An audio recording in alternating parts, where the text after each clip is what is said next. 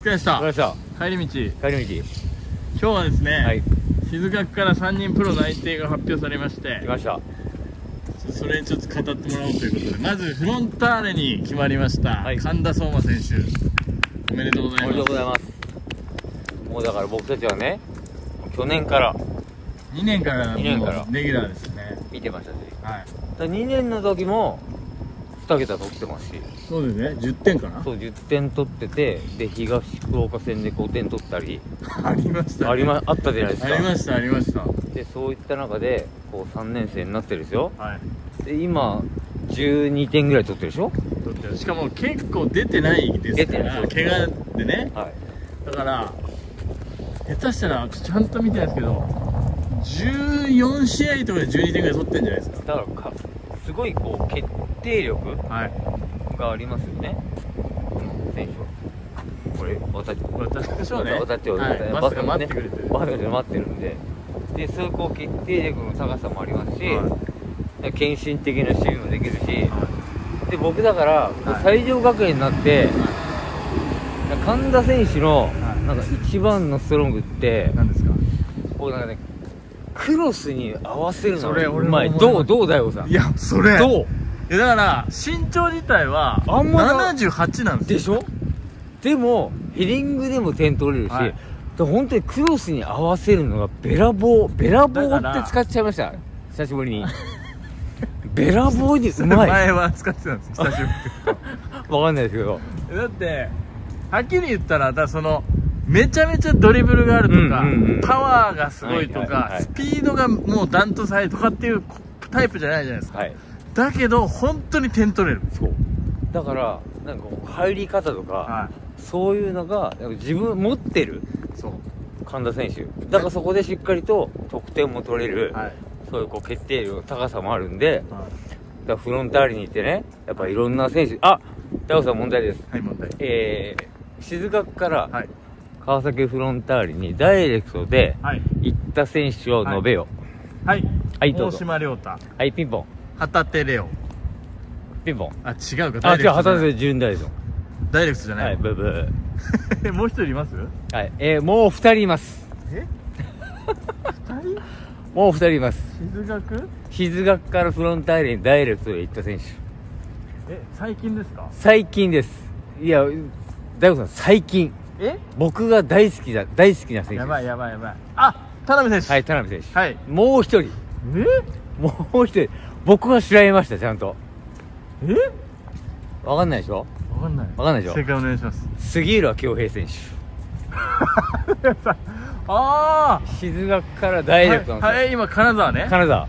僕同い年。あ同じですか？同い年ですで今年点取ってますね。杉浦恭平選手も。多分同い年けん結構点取ってるんで。あそうか。で4人目でで強化部長が分かんないですけどそのスカウトの方がはい。向島達さんって言って、静学 OB あ小柄だね。はい。あ向島さんも静静学学 OB なんです。そうなんだ。だから目の付けどころがいいですし。でほらほら今ねベルディ行きましたけど長谷川達也選手も静学 OB で、まあ、大学経由でフロンターレ行ったじゃないですか、はいはいはい。まあそういうこう流れがあるんで。なるほど。静学 OB 多いんだ。多いんですよ。でやっぱりほらねフロンターレにはいろんなこうフォワードいるじゃないですか。はい。小林優選手とか、はい。海星選手とかゴミスさんとかダミアンさんとか。本当だ。でそういった方たちのいいところを全部取ってもっとねボールは来ますからね。いやボールは来ないボールは来ます。来るぞボールはだからその一人でどうとかじゃないから来るチームに行ったら下手したらどうですか？まあだから1年目からあるかも。1年目がチャンスはね絶対あると思うので、そのチャンスを逃してほしくないですし、はい。でやっぱり守備でも頑張れるじゃないですか。そうですね。神田選手って、はい。でそういうところはこう鬼木監督もやっぱりそこはこう目指しているところなんで、あとたまにとてつもないボレーとか打ちますよね。あそうですね。なんかスラップに振る？わかるで左足も蹴れるから。こよし。え？こうこ左足？うこういう感じでね。はこうい。うこういう感じでね。ありますよね。わかります。でそういうボレーもうまいですから。いはい。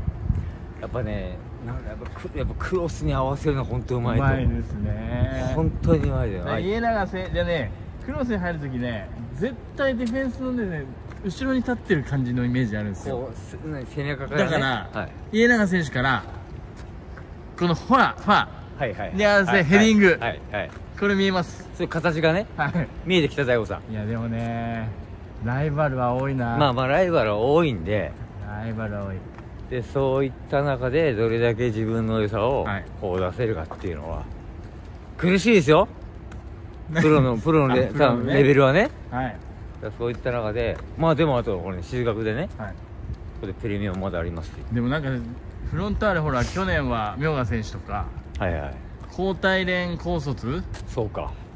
もうちょっと手出しなんかフロンターレほら大卒のイメージ強いじゃないですか、はいはい。三笘選手はい。旗手選手、まあ健吾さんから続く、はい。